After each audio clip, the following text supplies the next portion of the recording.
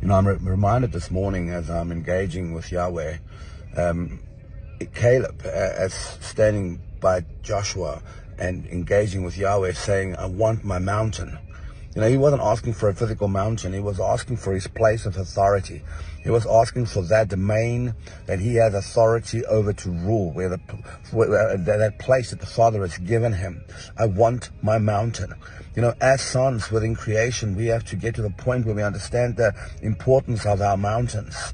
What did the Father put in who you are? What did He give you to accomplish? You know, what is the place where you have authority, where your Father has given you rule, where the Lord has picked you up and elevated you above your, your, your, your your brethren to show you who you are in a greater form, in a greater way. You know, your mountain is that realm, that place where you have taken authority over dimensions and realms and over parts of your life and, and just literally had overcome uh, certain dimensions and certain things in your life to be set on a path of victory where the Father has literally given you responsibility because of the rights that you've gotten through the victory and, uh, and being an overcomer and the manner and the measure in which your mountain has grown.